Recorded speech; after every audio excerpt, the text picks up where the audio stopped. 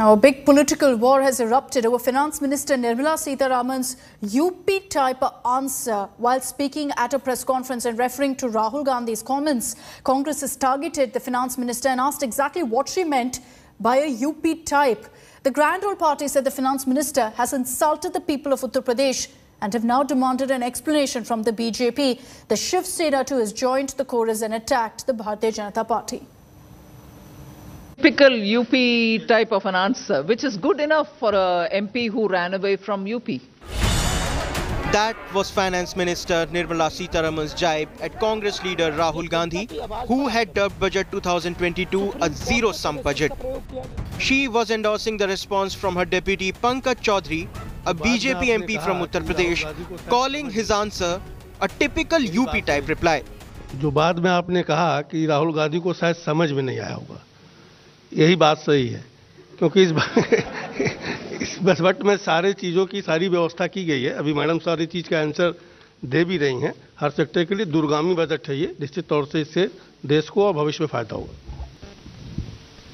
I think is given that typical UP type of an answer which is good enough for M P who ran away from UP है ना no that's not right I wish as a leader of the oldest political party, Shri Rahul Gandhi, please understand what has been said in the budget.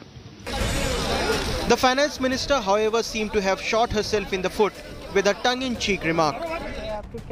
Congress General Secretary Priyanka Gandhi Vadra has accused Nirmala Sitharaman of insulting and making fun of people of Uttar Pradesh. Congress leaders have come out demanding an apology from PM Narendra Modi and Nirmala Sitharaman. Uttar Pradesh के 25 करोड़ लोगों को अपमानित किया है। निर्मला सीतारमन जी ने। मोदी जी और निर्मला जी को फ़ौरन माफ़ी मांगनी चाहिए। उत्तर प्रदेश उत्तराखंड बिहार केंद्रीय हिंदुस्तान के इन प्रांतों के लोगों से। यूपी टाइप मैं यूपी से हूँ मैं जानना चाहती हूँ यूपी टाइप क्या होता है? हमारी अस्मिता पर हमारे सम्मान पर माफ़ी मांगनी चाहिए आपको भी और आपके वित्त मंत्री को भी। Shiv Sena also echoed Priyanka Gandhi's words. Party MP Priyanka Chaturvedi took to Twitter and asked the finance minister to explain what she means by typical UP type jawab. With first phase of elections less than 10 days away in Uttar Pradesh, Nirmala Sitharaman's jibe at Rahul Gandhi has dragged her party into a controversy it could have well avoided. Bureau Report, India Today. Let's take this across to Mohit Sharma. He's joining us live from Delhi with the latest on this. Mohit, good morning. A lot of backlash that Finance Minister Nirmala Sitharaman and the BJP is facing over her comments that she made at that press conference yesterday. Has there been any clarification that's coming from the BJP or for that matter from Nirmala Sitharaman?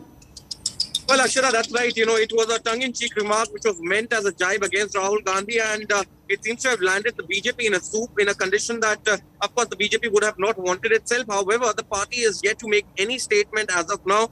Or, or uh, you know, uh, even the finance minister is yet to clarify her statement. Of course, it was a tongue-in-cheek remark against Rahul Gandhi when asked, uh, uh, you know, about her comments on, you know, what Rahul Gandhi had termed uh, the budget as, and of course he had uh, gone on to uh, critically examine the budget and then uh, gone on to say that it was a zero budget. And it was then that Nirmala Sitharaman had uh, had taken this jibe against Rahul Gandhi.